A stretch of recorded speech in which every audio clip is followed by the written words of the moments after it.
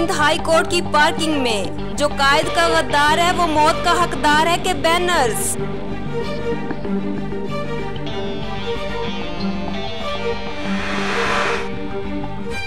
وزیر اعظم کی نااہلی کا ریفرنس مسترد۔ عمران خان کا ریفرنس الیکشن کمیشن کو بھجوا دیا گیا۔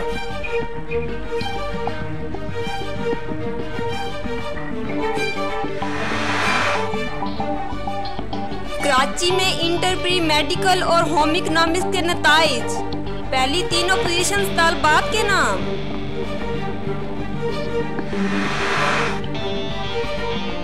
پاکستان توڑنے والوں اور ان کی اولادوں کا انجام بھی عبرت ناک ہوا، Ishaq Dar.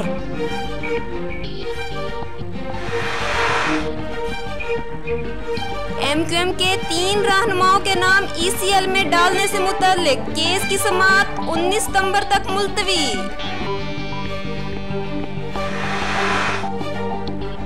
پاناما لیکس کی تحقیقات، تحریک انصاف کی درخواست پر اعتراضات کے خلاف اپیل دائر۔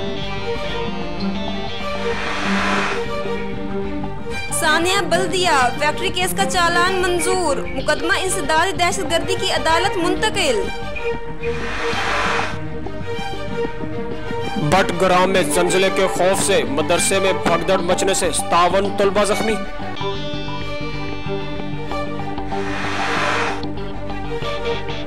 ترکی کا شام سے متصل سرحد سے داعش کے خاتمے کا دعویٰ۔